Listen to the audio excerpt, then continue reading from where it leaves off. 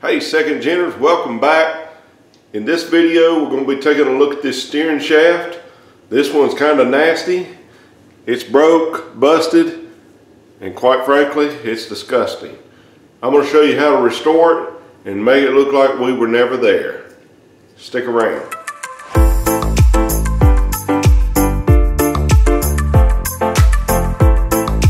Okay guys, before we actually get started in disassembling this uh, steering shaft, I uh, just want to take a quick inventory of it. And uh, one of the things I want you to notice, so basically with the bolt being down, this little indention is going to be setting at 11 o'clock. And that's the way we want to put it back together. I've checked it on several others and they're, they're like that as well. Also, don't forget to take some good quality photos using a digital camera or your cell phone.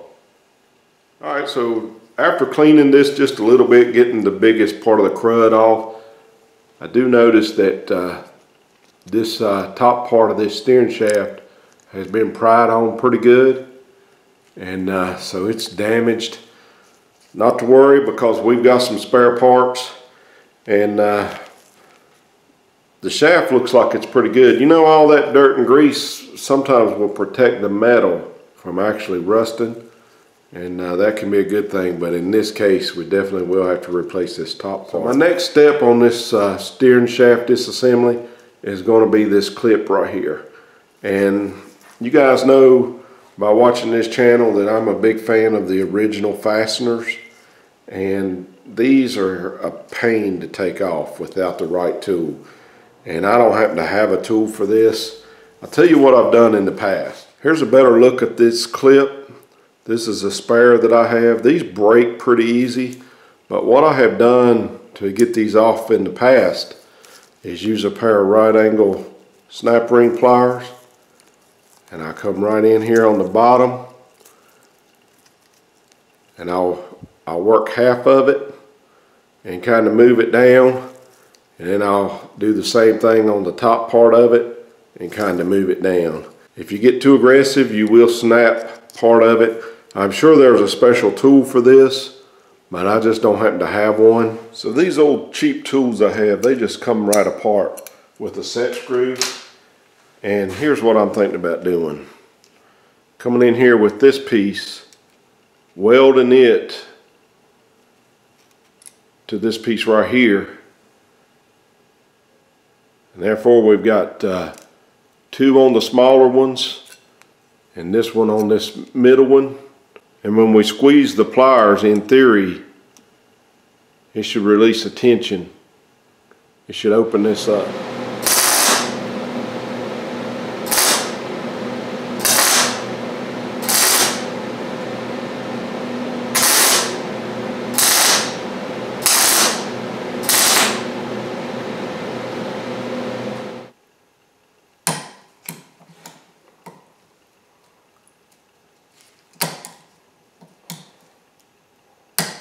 Kind of got two different problems. I'm trying to get it over this swell part. Probably easier just to cut it. And then the boot is also wanting to slide with me as I try to move it. Let me just try to hold this part of it.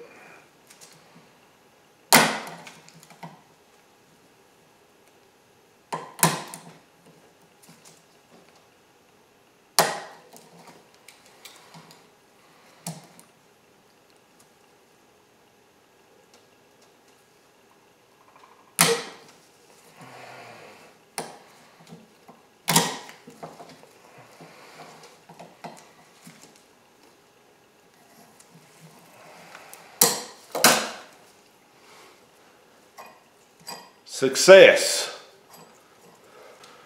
So I actually think on a new boot this will work well.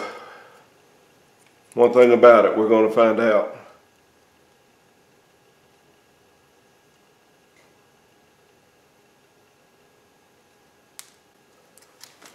I like it. And who's to say I almost threw this old cheap set of pliers away. And now we've got a tool made for these steering shafts. I should have made one of these years ago. So let's take this one out since it's not really damaged. And uh, first thing I'm gonna do is just clean out some of this goop. 40 years of crud. Make it a little bit easier on us. So basically I've just rolled this piece up and this piece already popped out. Again, our steering column bolt is facing down and this clip, this retainer was in there just like that.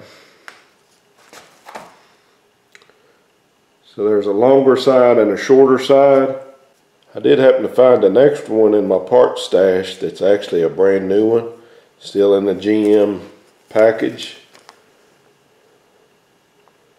There's an idea of what a brand new one looks like. You can restore them as well. And uh, we'll restore all the hardware to this steering shaft. Steering column bolt is down on the table. This should just press off of here. Like so.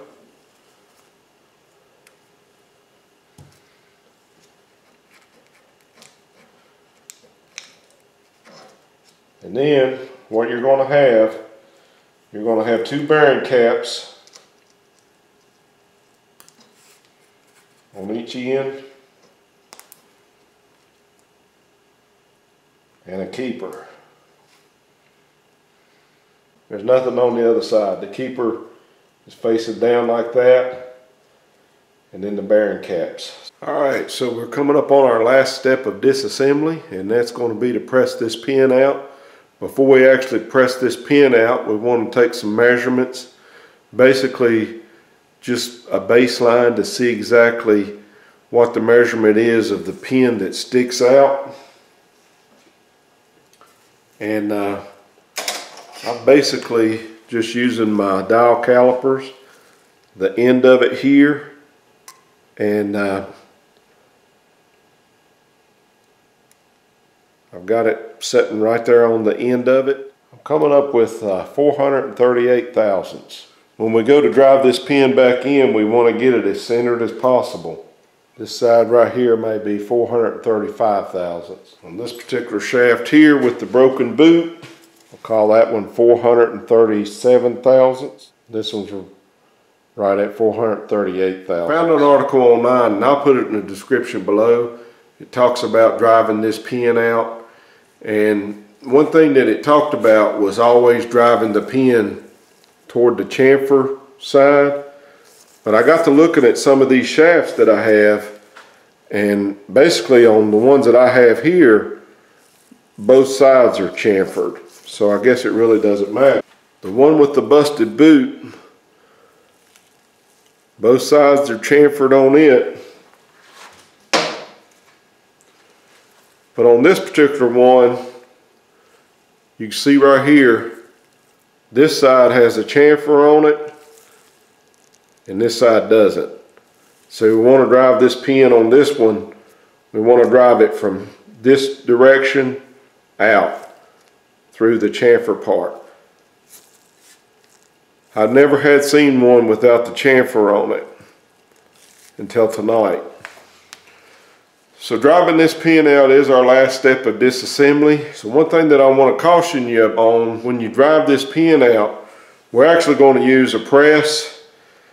I have used a vise before and used a socket in a vise to press them out.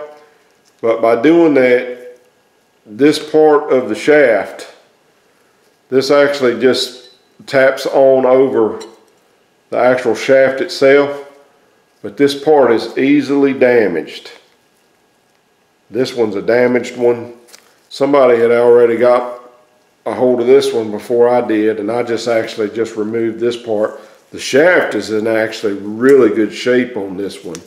If anybody has a source for these, uh, please let me know in the comments below because I could use a couple of them. But you can see right here, here's one that I have pressed out. And uh, I've noticed a few little indentions. and I guess that was from where the factory pressed the original pin in. I'm not sure really how critical this is, but you don't want to mar it up if you can keep from it. Basically, looking at these, and I believe these to be original, you can barely see two little lines through there. This one looks really good too. Nobody has touched these since they were new. So what I'm going to do to protect the shaft as much as possible is I'm going to wrap it with tape. And hopefully we get this pin pressed out, we'll be done with all this nasty grease. So there's that one.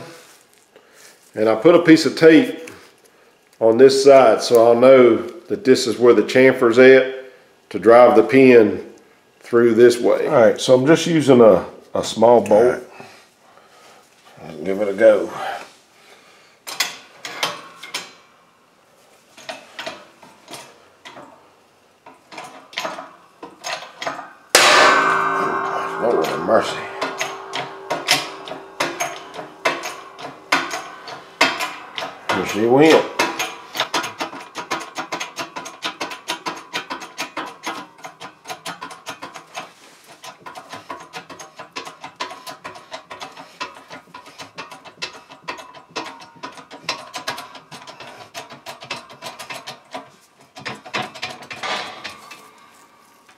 There's our pen.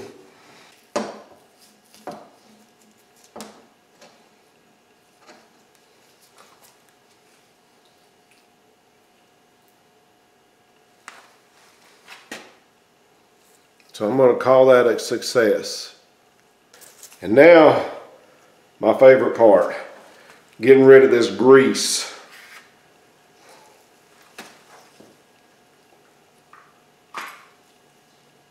Also, during the reassembly, don't forget our clip first, then our new boot.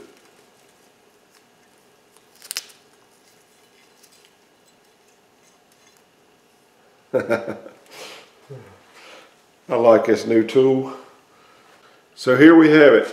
We have our steering shaft disassembled and uh, still got to clean out this part with the grease and everything. Guys, if you want to see the restoration and assembly part of the steering shaft, be sure to click right here. And uh, also be sure to hit that subscribe button. It just lets YouTube know that you like the content, helps push the channel out. With all that said, I appreciate each and every one of you, and we'll catch you next time.